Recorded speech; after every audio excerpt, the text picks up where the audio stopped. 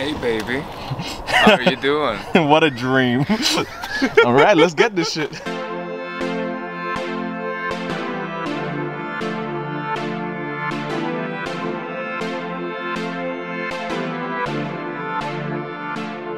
Here's the thing, your mid to late 20s is an incredible time, yet exhausting all the same. You have some friends getting married, some friends having kids, others killing their jobs, going to school, whatever. Yet we all share that same insecurity of what am I doing? Am I doing this right? For the past couple weeks, I've been letting the stress of the future ruin the present. So I'm determined to start enjoying the simple things that bring me joy to make this time of my life better.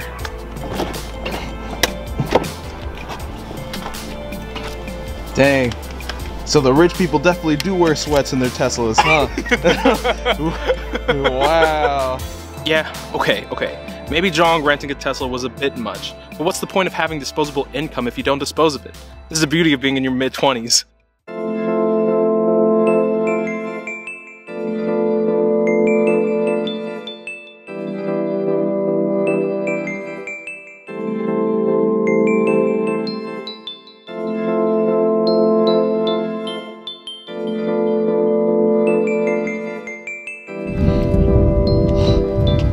Erica got us on a side quest. Erica saw Erica saw Madison uh, Medicine Park and she's like, let's let's do this side quest real quick.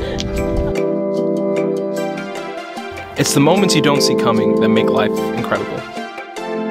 If you're too busy stressed about the future, you might just miss it. The present.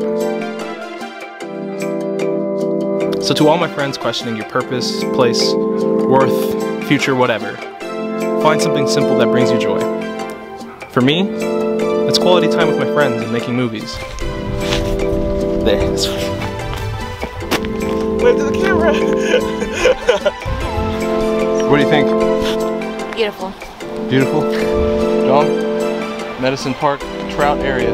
Yeah, I feel all healed up from my depression. Is that how it works? Yeah.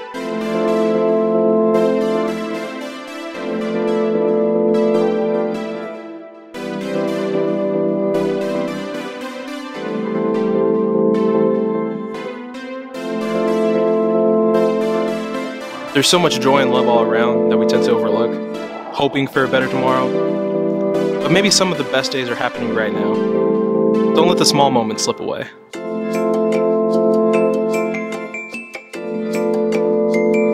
Black, yellow, black, yellow, black, gold, black and yellow. Yeah, let's shake it. Hey, black and yellow, black and yellow, black and yellow. Sorry, John.